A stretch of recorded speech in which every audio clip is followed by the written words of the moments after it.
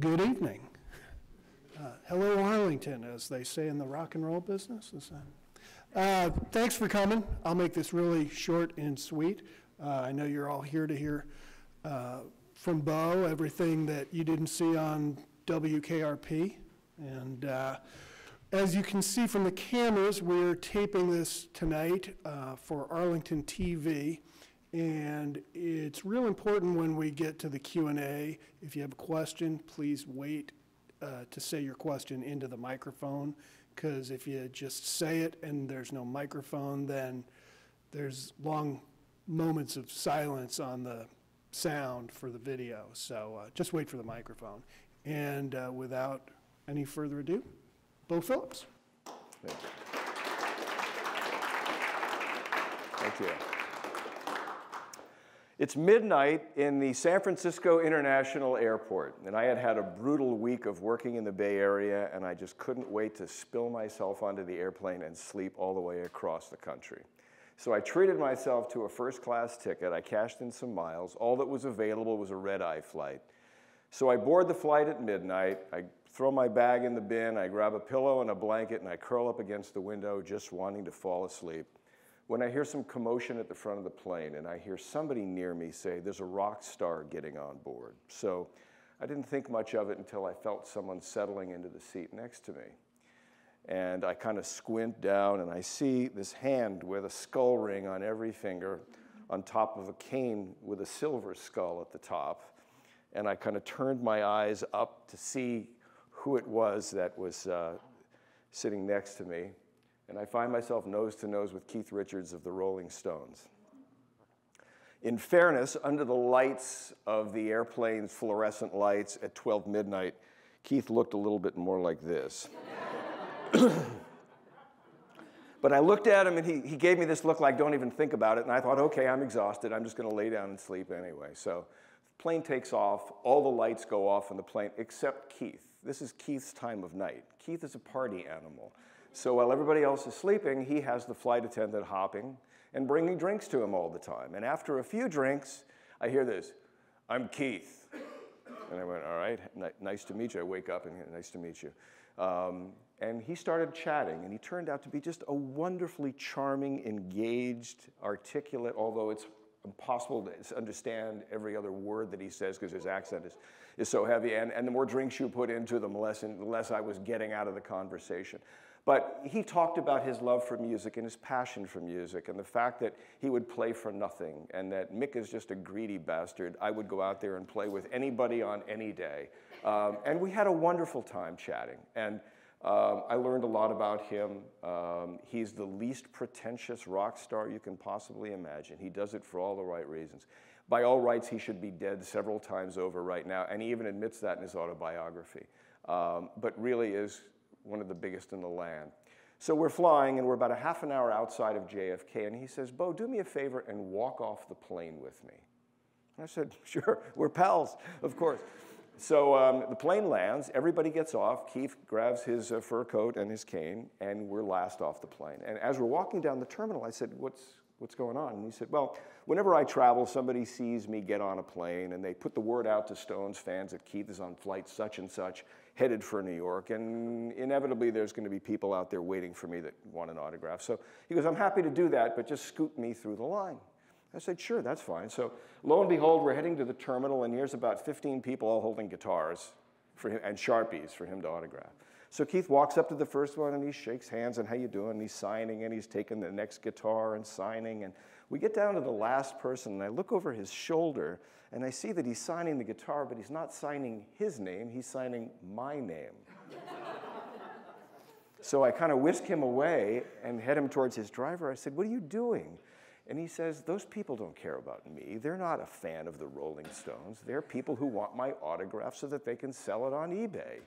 He goes, So I figure, screw them. I travel and I find someone like you and I ask them to come off the plane with me like I did with you, and whoever I happen to be standing with, that's the name I sign.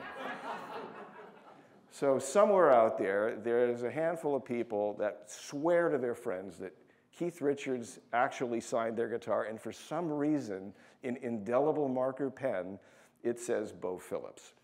So to those people, I say, you can't always get what you want, you get what you need. But I, I, became a fan of the wisdom of Keith Richards um, because this is a man who still lives in, with, with the fountain of youth. He's still a guy that has all the passion and all the charisma and, and all the, uh, the enjoyment of life that you could possibly want. And he looks like hell. Um, but there's a magical spirit about Keith Richards that was really extraordinary. And um, he is truly someone that is forever young, at least on the inside. Keith turned 72 on Saturday. But I'd like to take you back to a time when air was clean and gas was cheap and Michael Jackson was black and Saturday Night Live was funny a time when disco sucked and a time when rock was great. There was really a special window for whatever reason in time. It had never happened before, and it has, will never happen again, unfortunately. But from the late 70s into the mid 90s, the biggest rock bands in the world put out the best albums of their career.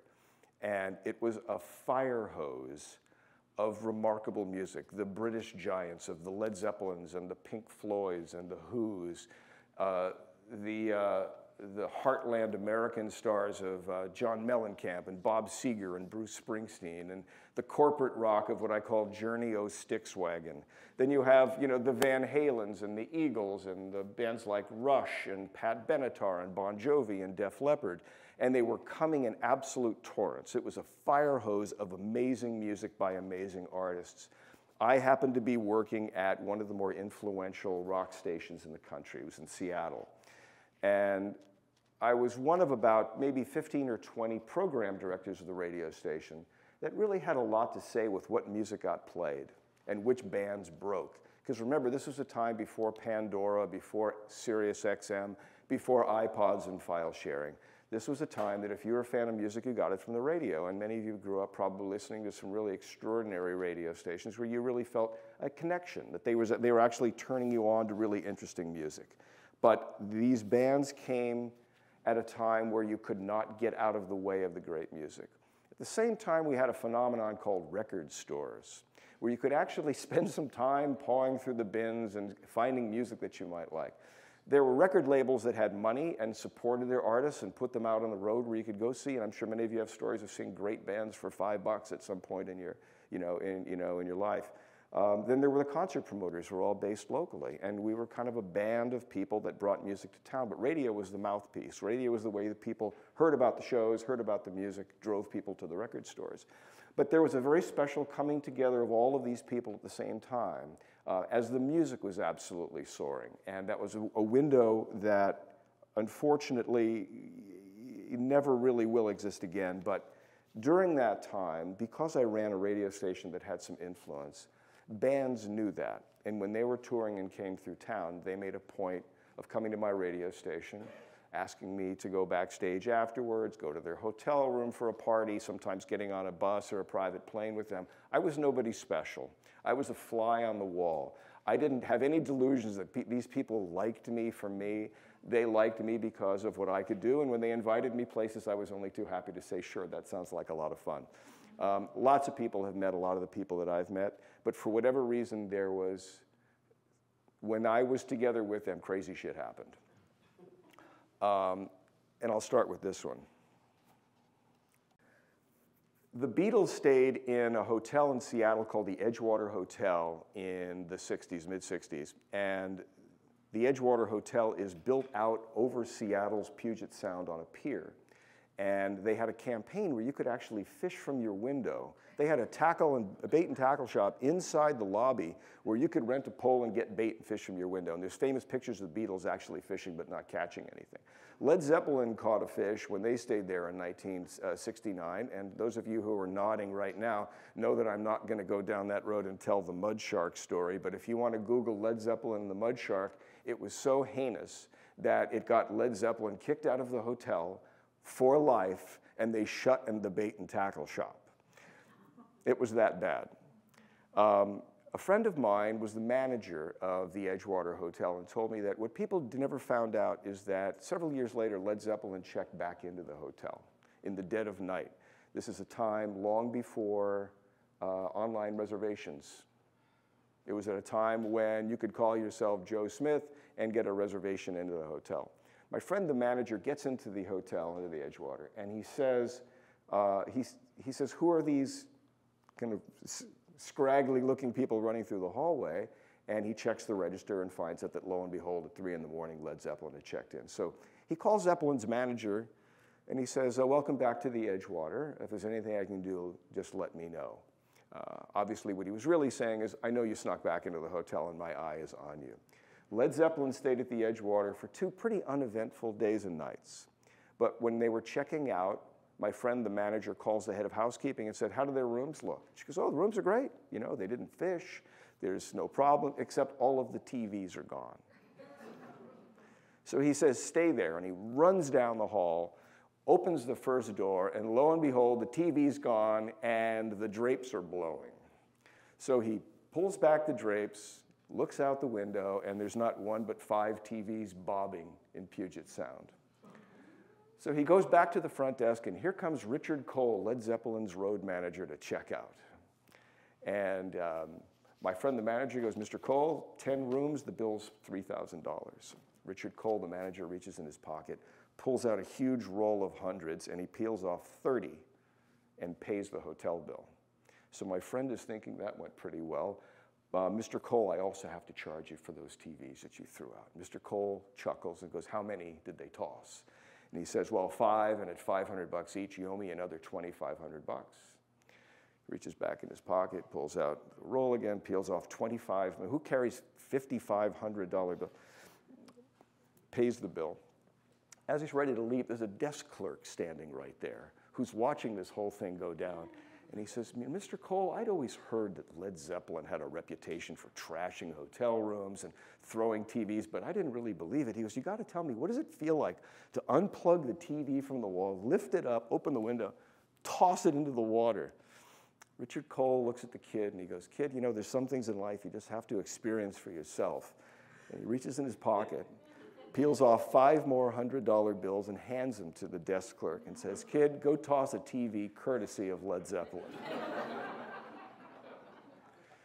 and that was the crazy stuff that happened. That was really just the, uh, the mind bending things that happened. And one of the things that I want to talk about tonight is for some extraordinary reason, this music is being handed down. And I see people my age and I see people younger, and that's really my point is that for the first time in history, this music is being handed down to the next generation. My mom and dad grew up with um, Sinatra and Elvis and Broadway show tunes, and I always thought that was fine, but it never became my music. This music is being embraced by younger people, and there's a couple of reasons for it. And I think it largely has to do with the fact that this was brilliant music. We're not just old farts who are saying we, were, we grew up in a special time. Uh, it was a special time, and the music was powerful, and the music had something to, to say. Uh, artists actually wrote their own music. They played their own instruments. They didn't have auto tune. They didn't have you know uh, computerized drums. They were real singers and real writers and real performers and real talent. So it's really been an extraordinary phenomenon. And my theory is that it started like a lot of things did with the Beatles. Because the Beatles not only affected everybody's fashion and hair, but they also started people uh, interested in playing guitar, and all of a sudden music stores popped up. There really weren't music stores much before the Beatles. People, you know, kids started forming their own bands. I mean, it really gave rise to a tremendous amount. But more than anything, listening to a Beatle album was an experience. It was something you could share with your friends. You could look at the pictures, you could read the lyrics. It became something that was. Um, was really remarkable. It was, it was an experience that created lifetime allegiances with, with bands like that. Uh, we also knew the band's names. We knew who the members were. We knew what instruments they played. Um, and speaking of instruments and, and artists and who, who played and, and people who are in famous bands you may know, you may recognize this guy. If you had a high opinion of Paul McCartney before tonight, I'm about to take it even higher. I was running this rock station, but I also was on the board of the Make a Wish Foundation. And as you probably know, Make a Wish grants wishes to terminally ill children. And usually, when there was something, a request for concert tickets or something, I would get a phone call saying, Beau, can you help? And I always try to. Um, but this call came in from a 19 year old young woman named Kelly who was suffering from brain cancer. And Kelly's one wish was to meet Paul McCartney. I mean, couldn't you ask for somebody bigger, for God's sakes? Um, so I reached out to Paul's management company and record label and said, We have an unusual request. Paul is going out on tour. Can you spare a few minutes to meet her? Uh, and the answer came back from everybody asked, We're really sorry. But this is Paul's first American tour since John Lennon's been killed. And he really doesn't want to expose himself at all. So he's going to play his shows. He's going to go back to the hotel. He's going to go to the airport and fly on. He's not doing any press. He's not meeting anybody. Please tell her that we respectfully just can't. So I went back and told Kelly and her mom that I tried. It's just not going to happen. Is there anything else I can do for you? And they went, No, that's really all she wanted. And it broke my heart, and I didn't mean to do it, but I played a card that I, I didn't want to play. And I called Paul's people back and I said, You know, Paul has a 19 year old daughter named Stella, who's a famous fashion designer now. And she's perfectly healthy. Can you imagine the horror of having a 19 year old daughter that's not healthy, that has three months to live, and her only wish is to meet Paul McCartney? Can you please just shake her hand and, and, and spend a minute with her? And a couple of days later, they came back and said, okay, he will. But there's one condition, and the condition is nobody can know. Paul isn't doing this for credit. He doesn't want the press to know. He doesn't want anybody reporting on it. He's doing it because he's a dad and he cares. So we were back at the Kingdome and we were told to be at this special gate, Kelly and her mom and I. And we sat there until someone guided us back through the building. And we walk into the Kingdome, which is 60,000 seats, and it's empty. It's just chairs, except for the band is warming up on stage. And we get walked way back into the bowels of the building into this green room. And we're sitting there and all of a sudden, the curtain parts, and here's Paul, and he says, Kelly? And he comes walking towards her, and Kelly stands up to shake his hand, and he brushes by her arm and hugs her. And Linda hugs her. And Linda had brought a, a stuffed bear for Kelly that she gave to them. Now, I don't know if any of you have met famous celebrities or sports stars or whatever, you have a chance to do a meet and greet. But usually it's a hi, hello, nice to meet you, let's take a picture, and then the next people come in. And I thought if that's what we had to deal with, that's what we had to deal with. After all, it is Paul McCartney. But what Paul did is he sat down on one side of Kelly, and Linda sat down on the other, and they talked to her for half an hour. And they told her jokes, and they told her how pretty she looked, even though she had no hair and had bought a new beret and a new dress. And they made her laugh, and they talked about peace, and they looked her right in the eye, and she was just completely in awe. And I look over at, at Kelly's mom, who's watching this, and she's got tears running down her face because she's seeing her daughter realize her greatest wish. Uh, Paul stayed for a half an hour, stood up, and then took pictures with everybody. And I expected him to say, Thanks, have a good time, I'm going to leave now. So, as everybody's shaking hands and saying goodbye, Paul goes, Oh, we're not done yet. And he leads us out into the Kingdome and walks us over to these merchandise tables. And he said, Are you about a medium? and he's grabbing stacks of shirts and stacks of sweatshirts and jackets and ball caps. I mean, she's you know, like buckling under the weight of all this stuff. He says, Now follow me. And he sits us right here. This is in a stadium. We're the first three seat center. And he jumps up on stage and does what's called a sound check, a rehearsal to make sure that the sound levels for all the instruments are correct. And he and the band played half a dozen songs, and whenever they played a song that had someone's name in it, I remember the song Get Back, where he says, Get Back JoJo, he replaced Kelly's name wherever he could. And he smiled and he winked and he was just wonderfully charming. And when he was done, he jumped off the stage and he gave her a big hug and he said, I've got to go get something to eat and get ready for the show. Are you gonna, am I going to see you at the show tonight? And she said, Well, it was sold out. I didn't get a chance. We couldn't get tickets. And he said, Let me take care of that. And he reaches in his pocket and he pulls out three laminated passes. He goes, We're going to put three chairs on the sound board, which is right where the sound is the best in the middle of the venue, and you're my guest tonight. And then away he went. And we stood there in the parking lot looking at each other afterwards, like, did that really happen? Could somebody be that much of a hero in real life? It was really something to see. And that's a lot of what I got to see in my experiences. That's one of the few in my book that are not about sex, drugs, and rock and roll, but about the humanity of, of some of these people that you meet that are just so remarkable when you meet them in person. But Paul couldn't have been more of a hero. And uh, this is a picture that was taken of Paul with Kelly. So, yeah, pretty special guy. Interestingly, the top 10 albums of all time probably won't surprise you. It's the Beatles, it's um, Pink Floyd, Led Zeppelin, ACDC, Fleetwood Mac, and the number one record of all time, I don't know if you know this, is the Eagles' greatest hits. This is Joe Walsh of the Eagles. Um, Joe Walsh is the clown prince of music. When the, when the Eagles broke up in 1980, they took a hiatus. Joe, like Keith Richards, is very childlike, loves to play, will play anywhere. He joined a punk band in Australia for a while just because he wanted to play. But Joe is an absolute kick. Um, he's an, a sweetheart of a guy from Cleveland, Ohio, who, no matter uh, whether he's feeling good or bad, has a smile on his face and will welcome you with a "How you doing?" That's Joe's whole signature line. How you doing? I had the idea one time uh, at my radio station. Uh, I was my, my, my afternoon show had gone on vacation for a week, and I needed something for that week. And I had the weird idea to put a celebrity in there. And somebody said, You know, Joe Walsh wants to do radio. I thought, Well, that would be fun. So I called his manager and I said, Look, I need someone to do the afternoon show. Would Joe be interested? And he goes, Well, let me ask him. He goes, he goes How much can you pay? And I said, Well, I'll pay him $10,000 and, uh, and he'll come in and do the whole show. And then on the last day, he'll do a concert for our, our, listeners. And he goes, okay, let me talk to Joe. Joe's all for it. So Joe comes to town, and uh, I call a friend of mine who's at the Sheraton, and I said, I need a couple of hotel rooms for some people that we're bringing in, and the names are Joe Walsh and his manager. And she goes, is this the Joe Walsh? And I said, yeah. She goes, wow. She goes, I'd love him to stay here. I'll comp him rooms, and I will I'll upgrade them to suites. We'd love him to stay here. I said, that'd be perfect. So Joe Walsh and his manager come to town, and I introduce them around the radio station and take them over to the Sheraton. They get checked into these beautiful suites.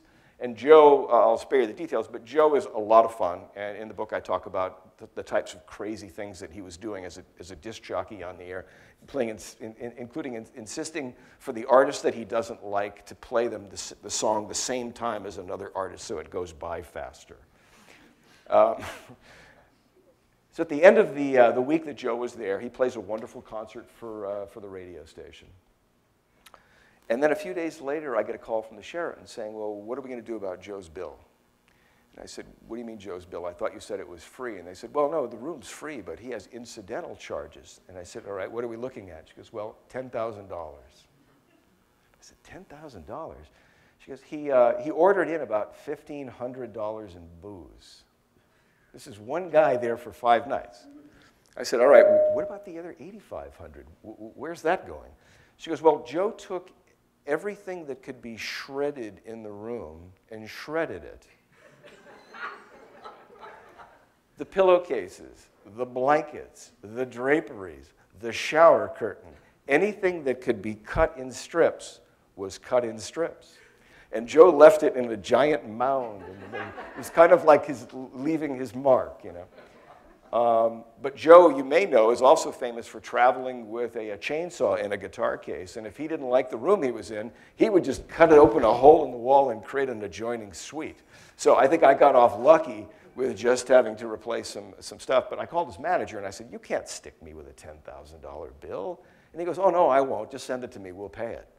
And I said, I just paid Joe 10 grand to come for a week, and you're just wiping all that away on, on booze and fabric. And he goes, Yeah, well, what? He goes, Welcome to my life. That's what these guys are like. they get bored on the road and they try to find stupid things to do, and whether it's throwing TVs or shredding hotel rooms, that's kind of uh, you know, what happens to them.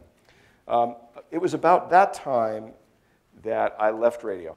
Um, I, uh, I, I, went to uh, New York and I was the head of marketing at MTV Networks. And we did a ton of research to try to find what it is that gets people excited, particularly adults excited, um, about watching music on TV.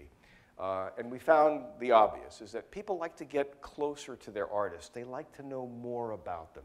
They like to get behind the music. And when I was there, it was at a time when VH1 created shows like this that got you to know a little bit more about your favorite bands. You know, was, was the bass player, you know, the limo driver in that video?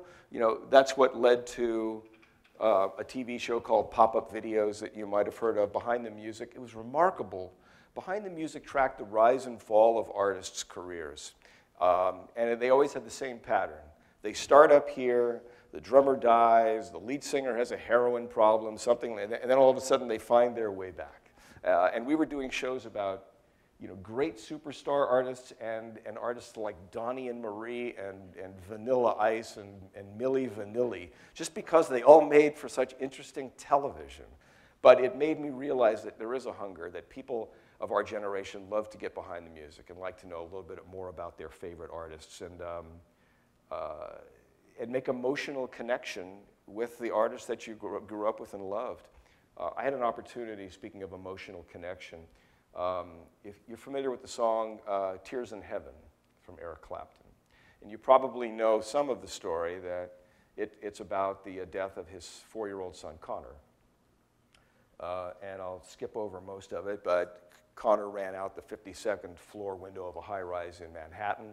Um, he was playing and went right over the railing. And Clapton walked into the hotel room and found out from his, the, the, the boy's mother that his son had just fallen to his death. Uh, Clapton had spent the night before at the circus with his son, and it was the first time in his life, after years of drinking, after years of, of heroin, after years of womanizing, that he finally felt like a dad. And he loved the night with his son at the circus, and he was looking forward to the next day he was going to take him to the zoo. That's why he was coming to get him, and he was devastated by that. And it led to the writing of the song Tears in Heaven. And when Clapton decided to go out on tour, um, my radio station got together and I said, Look, I said, this is a guy who's doing the hardest thing that a father can do. I mean, to write a song about the death of your son is hard enough, but to perform it every night in front of a live audience has to be just brutally difficult. So when he comes to town, let's not do a stupid contest where we're giving away tickets to the 10th caller or we're giving away an autographed guitar or the type of stuff that radio stations always do. I said, let's do something more meaningful. Let's honor the fact that he's one of the greats who just went through some horror, but he's here sharing it with us. What can we do? So I had the idea to call the Bic company. They make lighters and pens and all of that. And I said, I would like 20,000 Bic lighters. And what I'll do is put Clapton's name on one side on the date of the show and our station on the other, and we will hand them out to people as they go into the concert that night. And we told listeners for the week leading up to the show when you go to that show and you hear Clapton starting to play the opening notes of Tears in Heaven, go completely quiet. Don't make a sound and hold up your flame. And let him know that you appreciate him being there and that you respect the pain that he's had to go through make it not a sound. Um, and it was a difficult task to do to get 16,000, 17,000 people to all do that. But at the night of the show, but we had people kind of stationed all around the venue, and they were handing out lighters to people as they were going in. Well, about halfway through the show, Clapton sets aside his electric guitar, picks up his acoustic, and there's a single light shining on a stool right over the center. And everybody in the venue knew what was coming next. So Clapton sits down and he's playing the opening notes with his head down, like I am right now, playing the opening notes of Tears in Heaven, and it goes quiet. He's used to having people clap and they go, Oh, I recognize that song, and they cheer. Quiet. And he looks up and he sees this sea of light, and he realizes exactly what's going on. And the people who were in the audience were moved by the fact that he stopped playing and just for maybe 10 or 15 seconds just looked out and marveled over the crowd and you could tell that he was moved because when he started the song and started singing the song, his voice cracked. And he, he got all lost in the beginning of the song. And I told my staff afterwards that everybody who was in that venue that night and saw that, years from now, will hear Tears in Heaven come across the radio or at a party or a club, and they'll go, you know, I was there a night where I saw Eric Clapton do that, and here's the emotional connection that I have with that guy. I don't think that happens with Katy Perry. I don't think that happens with Taylor Swift. And I think Taylor Swift's phenomenal, by the way. I've, I've met her and, I, and I've seen her several times. Uh, tremendous talent. But I don't think that you're going to be seeing people wear, um, you know, Justin Bieber t-shirts 15 years from now. But they still wear this with pride. And I think that guys like Clapton who have that kind of emotional depth that make it special. It also speaks to the healing power of music, and that's kind of a recurring theme tonight, is that there is a redemptive power that energizes you and soothes you with music. But what's changed now? Why is it different now? And I think it, it's changed on all kinds of levels, and it starts with the fans. You know, we come from a generation where we would listen to albums. Nobody puts out albums anymore. Nobody listens to albums anymore. We live in a singles world. We live in an iTunes world. People don't have the attention to sit through albums, you know, on the younger generation. And, you know, and, and how many years did we buy albums where you spend 10 bucks and find an album with two good songs? The record industry has changed, but I think that fans' attention span have changed. YouTube is now the new MTV. There's very little artist loyalty. If an artist like Coldplay is the biggest band in the land and they come out with a big record, they're done. I mean, they had their last record and U2's last record disappeared, band is completely gone.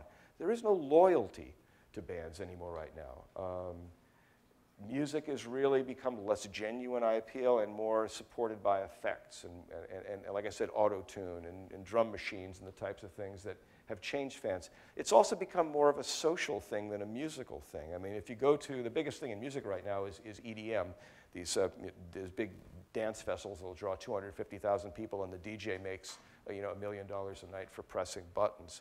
But Sorry, I showed my bias, but um, it's become more social. It's not about the music being brilliant, it was more the party and the fact that it's a shared experience. The other thing that changed is record stores. Of course, they're gone. Music discovery is now done online, it's done with sharing with other people. Uh, music is now enjoyed largely on earbuds. You don't hear people, you know, go to the beach, you don't hear people listening to the radio or listening to a, to a CD anymore. It's very solo. Um, People are buying songs, not albums. I mean, for years, all of the artists that you hear me talk about tonight sold millions of records, millions, tens of millions of records. Last, this last year, Taylor Swift was the only artist to sell a million units. Um, it just speaks to the industry has changed where you can have a hit. There's also, you know, from the artist standpoint, um, I have to happen right now. It has to ignite immediately. I have to go on American Idol or The Voice, and I have to become famous tonight, and I have to make a money immediately. And if you're familiar with the book by uh, Malcolm Gladwell called Outliers, he talks about having to invest 10,000 hours in anything if you want to be great at your craft. Uh, right now, there's really not a huge interest on most bands' part to make that investment. It's like, you know, we're pretty good. Maybe we'll get lucky. Maybe we know somebody. Maybe we can get famous. Um, but th that, that whole dynamic from the band standpoint has changed. Um, concert promoters used to be based locally. I didn't grow up in DC, I, I, grew up in San Francisco, but there was also always concert promoters that we could call and say, look, there's a great band. I mean, I was very early on, on uh, Pat Benatar and Bon Jovi and, and um, uh, some bands like that, where I would call the promoter and go, boy, there's this great artist I heard. Can we bring him to town for a couple of bucks and Right now, the concert business has completely been commoditized and corporatized. It's owned by large companies like Live Nation that are big monolithic companies. Uh, they bring bands to town, they can charge 180 bucks a ticket uh, and put it out of range of most people uh, and charge 20 bucks for parking and nine bucks for a Coke. Um, it's just a completely different world right now. It's about the bottom line profit. It's really not about the music anymore.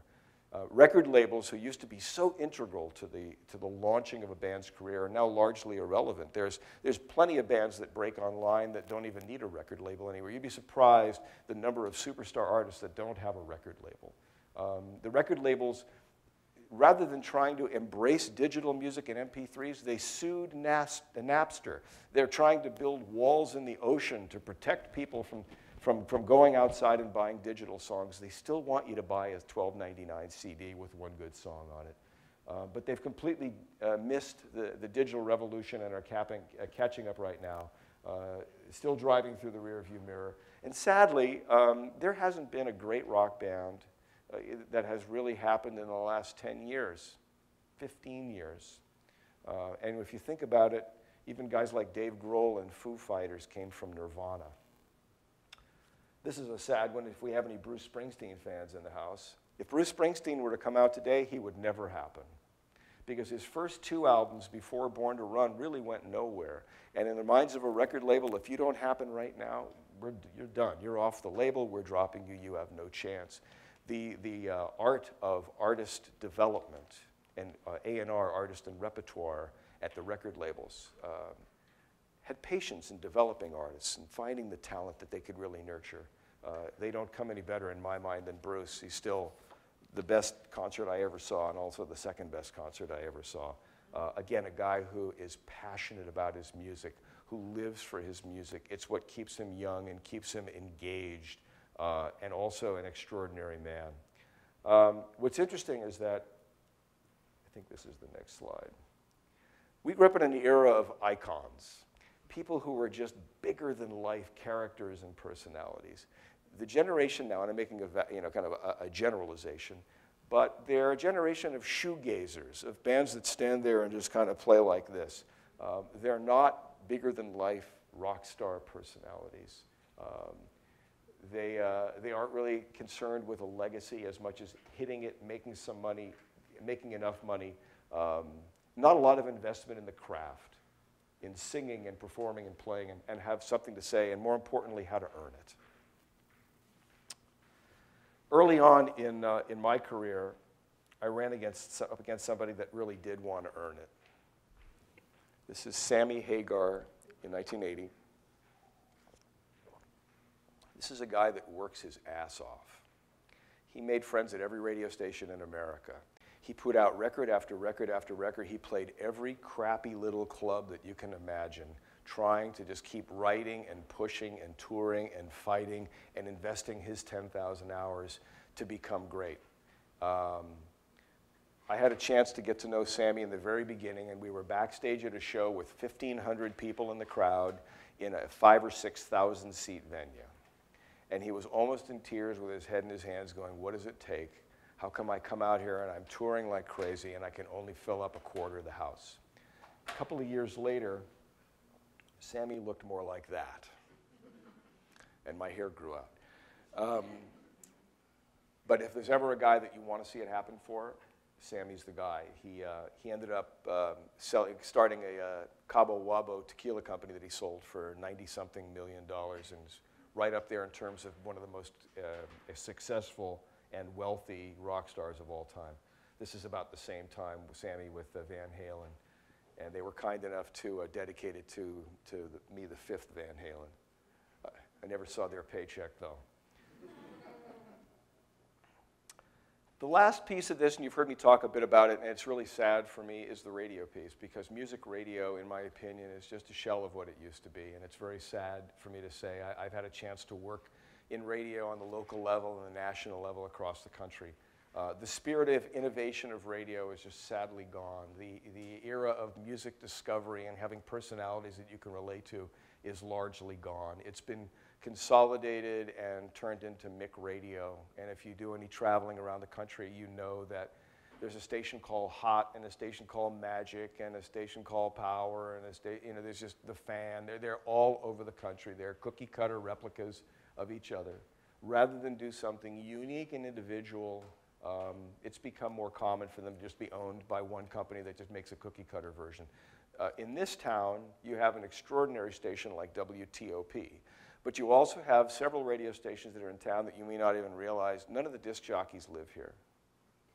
They don't, it, there are a couple of exceptions. Um, the music is all pre-programmed on a computer days in advance. So the idea of uh, taking a request or making sounding remotely spontaneous is completely false. Uh, everything lo is loaded into a hard drive. In fact, your favorite radio station is probably a hard drive. You would walk into the studio and there's absolutely nobody there or, or, or no live body. And you know, as I say to people that, you know, if radio were a movie, they'd be rolling the credits now. It's, it's sad, unfortunately, but it's true. So, what's the lesson here? The lesson to me is to stay forever young. Steve Jobs says that he likes to hire or liked to hire people that were infected. People who are infected with passion, people who couldn't wait to come to work and to be able to work on the next product. Um, these artists that I'm talking about and the ones that I wrote about in my book are people that were infected. They, they were passionate, they were totally engaged. They created music that spoke to your heart and your body and your mind. Uh, and they created an escape. They made an emotional connection. And I thought it was fitting to kind of wrap up this segment with another, another genius message from, from Keith Richards, who really says it correctly. You know, he's not here to make records. He's here to say something and to move other people. And, and I think that that generation and, that, and the music of that generation just really was, was built to do that. Now, if you're interested, I have a couple of other bonus stories that I will share with you. That's my message. Uh, my book, not to be a complete shill for my book, uh, my book is called I Killed Pink Floyd's Pig um, because I was told by my wife that sometimes the best book titles are the coolest chapter titles. So I quickly went to the table of contents and went all the way down and went, there you go. If I was, if I was looking for a book and I was at the airport, a bookstore, I'd say I, would pick up something that's called I Killed Pink Floyd's Pig. But Pink Floyd's Pig is a, uh, is a story. Again, I was working at this radio station, and Pink Floyd was coming to play in the stadium, 60,000 seats, sold out. And I thought, what can I do to, to create some awareness for my radio station that Pink Floyd's coming to town? So I had the crazy idea to call Pink Floyd's manager and say, would you loan me your famous concert pig that I can fly over my radio station the week leading up to the concert? And his manager paused and goes, You must be out of your mind. We fly that in concert every night over the crowd. It hooks on a scaffolding rigging on a motorized thing and it tracks around. And it's the high point of the show. The audience goes crazy. If anything were to happen to that pig, we'd be completely screwed. And I said, On my life, I will watch, I will sleep with this thing. Um, nothing will happen to the pig. In a weak moment, they said yes. Um, and I thought, this is, this is terrific. So this crate arrives, and 300 pounds of pink fabric inside, and we hoist it up on the roof, and we inflate it with air, and it's flying about 80 feet above the radio station, and it looks majestic. It was just wonderful. And all the TV cameras, the helicopters were flying around, and people were pulling into our parking lot, taking pictures of themselves with the pig in the background. It was really glorious. Um, this is a pig that has some experience in getting away. Um, it was created for the album cover Animals that Pink Floyd put out, and Roger Waters wanted the pig created so it can fly over the London harbor. It's kind of a promotional stunt when the, when the album came out. But it broke through its tethers and flew 30,000 feet to the point where pilots were, re were reporting it. and it shut down Heathrow Airport inbound and outbound until they could retrieve the pig. So as I'm flying the pig above the radio station, I'm thinking, boy, I really hope it stays here. Um, the morning of the concert, I had, I had sworn on my life that I would deliver the pig to the venue by 12 noon because they needed to inflate it and, and put guy lines on it and hoist it up and do test runs and all of that.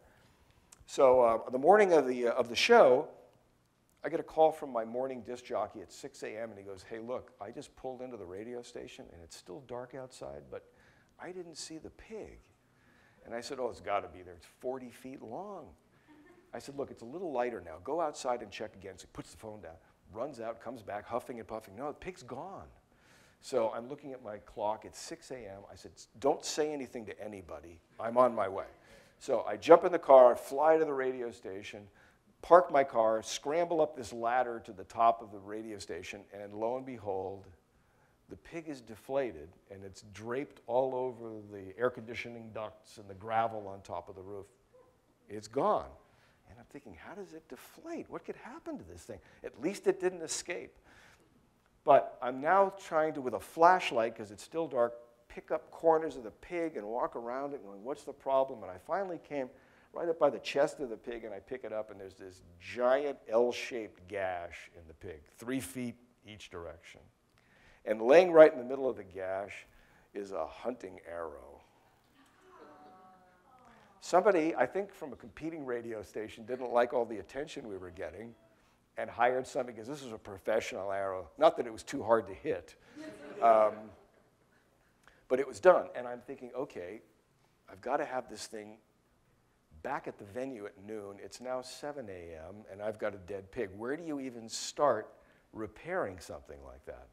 So I called kind of everybody in and said, okay, all hands on deck, what do we do? And we found a parachute company who said, sure, bring it in, we'll see what we can do. So we stuffed 300 pounds of fabric into the radio station and van and fly all the way up 45 minutes to this parachute company. We bring it out and we spread this thing out all over his warehouse floor. And he says, well, I can't stitch it. He goes, You're going to inflate this thing. It won't hold. It'll pop. It won't hold the air. He goes, I have to put a patch on it. I said, Great, whatever you need to do. And he starts going through his fabric and he goes, Well, this is about the closest I can get. And it was more orange than pink. But I didn't have a lot of options. I said, Look, just do what you need to do. Just patch it up.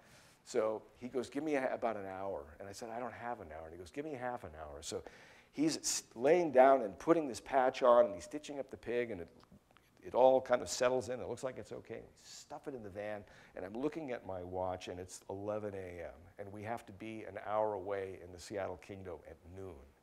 So we fly in there through wet streets and lots of traffic and, and, I, and we get to the front of the venue and here's this big giant man standing right on the loading dock like this, looking at his watch. And we come in at 11:59. I said, "Got your pig." So we open the doors, and his road crew take it, and it's all kind of all crumpled in a ball, and we kind of threw it to them, and they ran with it inside, and we got the hell out of there. Um, and I never heard word one about what did you do to our pig. But I went to the concert that night, and when the time came for the pig to fly out, it flew. It, here it came right out on, on cue, and, and the crowd is just you know going crazy, and, and all I can see is this orange L-shaped patch in the middle of it. But nobody seemed to m- notice, or maybe they were too wasted to know. But, but the point is that I got away with it. I dodged the bullet. I, was responsible for killing Pig Floyd's pig, and uh, we did some emergency surgery to actually save its life. But, um, but no, yeah, I never got in trouble over that. And now that I've titled the book that and Pink Floyd reads about it, I'm sure somebody's going to, you know, I thought something was funny about, about the pig. Um, this is a story that actually reads better, and you can read about it on my website. The picture was too hot for my book. Publisher would not let me use it. But um, my radio station had a, a fun relationship with Van Halen from the very beginning and we came, became good friends with the band and their record label and their management. And when they came to town, they always stopped by and visited, and, and, and we were, it was a party waiting to happen. There was one time when I heard that Van Halen was coming to town for two nights, and it was sold out, and I called their manager and I said, hey, look, when the guys are in town, would they please come by the radio station? We'd love to vi visit and see what's going on and let them, you know, play some records and talk on the air, something that rarely happens anymore. And his manager goes, Well, you know, they're really busy this time. I, you know, we love you guys, but we don't think it's going to happen. Fast forward a couple of months, it's about 2 in the afternoon, the day of the concert. Everybody's excited about the show. We're getting lots of requests at the station for playing Van Halen music. And the receptionist goes out of the all call and said, Everybody look outside. And I look out the window and I peel back my curtain, and here's motorcycle cops one after the other after the other stopping, followed by four limos, just bam, bam, bam, bam. Out of the first one pops David Lee Roth with these two strippers. Right behind him was Eddie Van Halen, who I don't know, Eddie was running around with a penis shaped squirt gun squirting people that was filled with beer. Um, so Eddie was probably running around doing that. Uh, and he pops out and he's holding a case of champagne, and he has another stripper who's holding a cake a big birthday cake for the radio station. Uh, and then Michael Anthony, the bass player, and Alex Van Halen, the drummer, are here, and they're also with strippers, and they have party poppers and streamers and all kinds of stuff that they brought in. They walk right into the radio station, walk right past the receptionist, down the hallway, opened the control room, and said, We're here to take over. And they, they took our disc jockey here in the middle and basically kicked him aside. And they went on the air and said what they wanted and played what they wanted. And um, they turned the studio monitors up, which you can't see in here, all the way to 10, and these girls got up and they're dancing all over, you know, you know, clothes coming off, and it was just insane. And I'm, I'm pinned up against the back wall, standing next to Eddie Van Halen, going, what's going on here? What did I miss? And he goes, we wouldn't forget you guys. He goes, you didn't think we weren't going to come. And I said, yeah, but I didn't know you were going to come with all of this stuff. And there was just party poppers. And when the party was over, the, the entire control room was soaked with champagne because nobody bothered with glasses. Everybody had their own bottle and they're dumping each over each other. It was like, it was like a celebration after someone won the Super Bowl.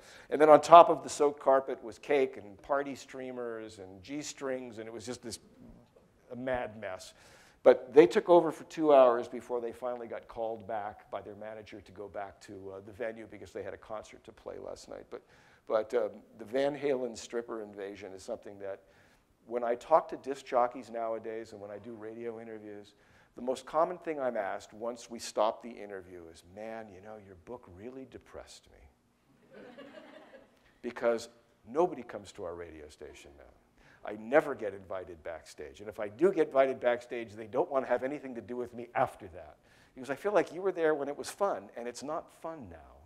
Um, and, uh, and then it was kind of at that point that I realized maybe I should write these things down because um, the way that this book really happened was after being out with friends one too many times where they go, you know, that's a funny story, you should write that down. And I started writing them down, and all of a sudden I had 35 that turned into a book. And, um, but this is chapter one, and it kind of sets the tone for, you know, hanging on for a wild ride because here we go. Um, this one is too embarrassing for me to tell you, but I did get a chance to actually spend some time with Robert Plant, the great Robert Plant, who was a magnificent man, uh, very smart, very articulate, very charming. He wanted to talk about his solo music because after he left Led Zeppelin, he wanted to know that people still liked him, that people could, could embrace Robert Plant without having Jimmy Page standing next to him. Uh, and he was all about um, trying to get some feedback on, you know, what did I think of his new record and did I think it was going to work? And here I am talking to the golden god of rock about do I think he has a prayer as a solo artist? Um, but I really wanted to impress him. I really wanted to say, I have a chance to really knock this guy out. He's, he's been interviewed by everybody. I'm going to just stun him with my brilliance. Uh, and I completely did a face flop. I embarrassed myself, and, and the photographer at that very moment took, took this picture. So um, it takes a lot of courage to stand up here in front of you knowing that, that this was not my highlight uh, of my career when this happened. But um, I had a lot of fun. It was fun while it lasted, and it was a special window of time from the late 70s into the early 90s that um, really will never happen again. And if you were fans of that music, you really were truly into something special. So with that, I will say thank you for coming. Um, I have some books over here if you're interested. Uh, they're 15 bucks each, and I'll sign one for you. But before I do that, if, are there any questions? Uh, thank you for being here. It's been a wonderful uh, uh opportunity to listen to your stories.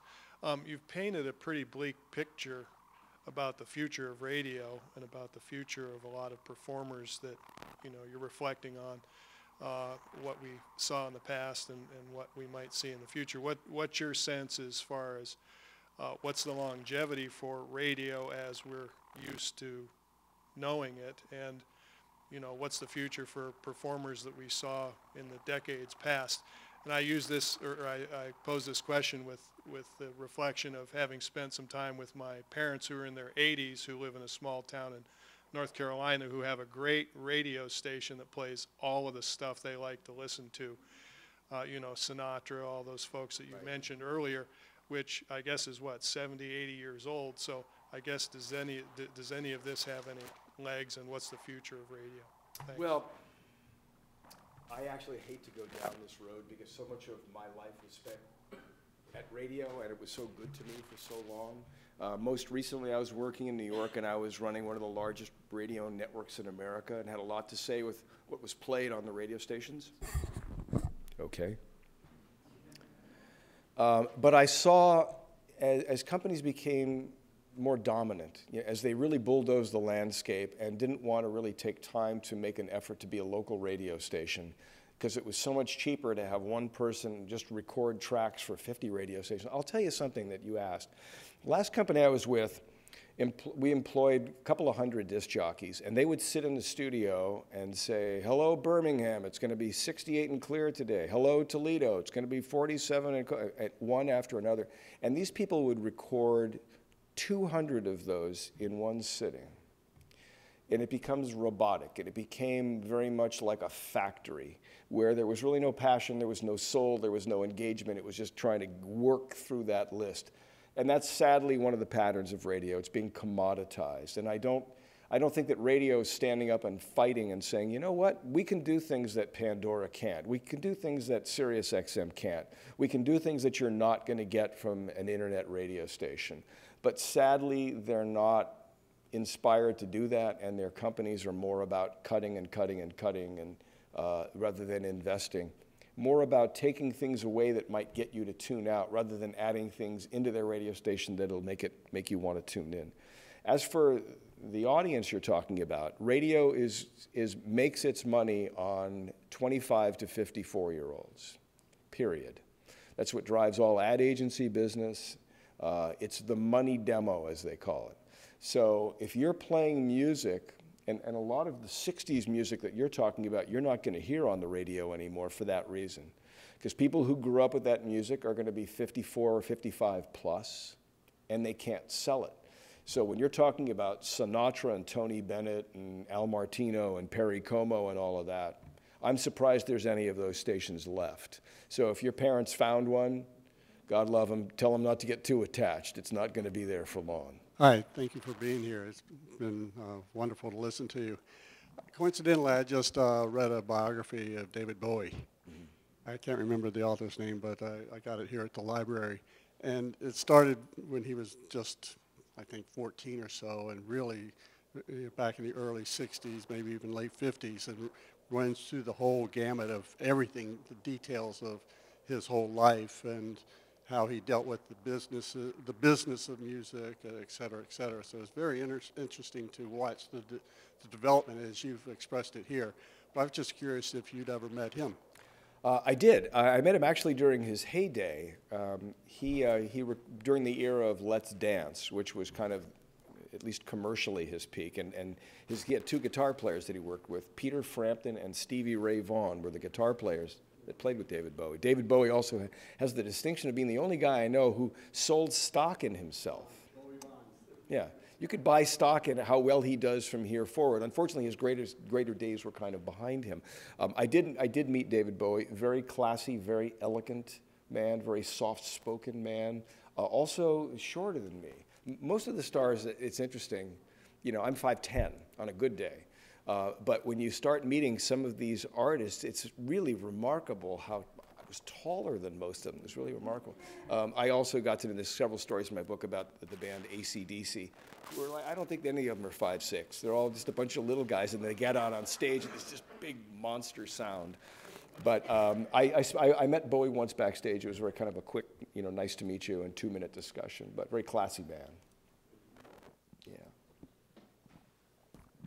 Hi, thanks. Uh, interesting stories. Um, I was on the radio back in the late 70s myself on a station in Erie, Pennsylvania. We had a Drake Chenault format, these yeah. you know, nascent formats that slowly stamped themselves over the country. Anyway, uh, in, uh, and I don't want to get too downer here, but on a December day in 1980, I was watching Monday Night Football when Howard Cosell announces that John Lennon is dead. That's how I got that experience. How did what happened with you, and what was the what surrounded that on the radio where you were? Yeah, that was interesting. Uh, I never got to meet John. Um, you know, when people ask me, I mean, who haven't you met that you would like to? He'd probably be right right there as number one. Um, I was running a radio station in 1980. We were it was in our heyday, um, and I came out of a restaurant and I got in the car. And I, and I turn on my radio station, and my disc jockey, who's also one of my best friends, was on the air, and he's crying and I'm thinking, what is going on? I mean, this is a rock station at night. It should be, you know, it's crying. And there's a listener saying, Steve, it's going to be okay. It's going to be, you'll be all right. And Steve goes, I know, but I just can't believe John Lennon's dead. And that was the first that I heard. And I remember running right through a red light in a big, busy intersection, like three lanes each direction. I went right through the middle of it. Uh, and then I drove to the radio station and, and heard the news and stayed there most of the night as all the reports were coming in and the vigils were popping up around the country. But horrible night. Have you been to Strawberry Field in Central Park? Yeah. Yeah. Got to pay homage right across from the Dakota. Yeah. You know, it's funny. I, I, I, I lived in, in the New York area for the last 17, 18 years before moving here uh, and took my kids to the Dakota. And uh, I asked the guard there, I said, people still come by here a lot? He said, every hour of every day, rain or shine, warm or cold, all the time. And even while I was there, cabs slow and people get out. And again, I don't think that they're going to do that. God forbid that you know one of the pop stars of today, you know, meets their fate like that. But I just don't think that the lasting, you know, uh, you know, 35 years later that that'll be the same. Well, thank you for coming. I really appreciate you coming out. I hope it was uh, worth the price of admission. and uh, if you're interested, I'll step over here and, uh, and sign some books for you if you'd like.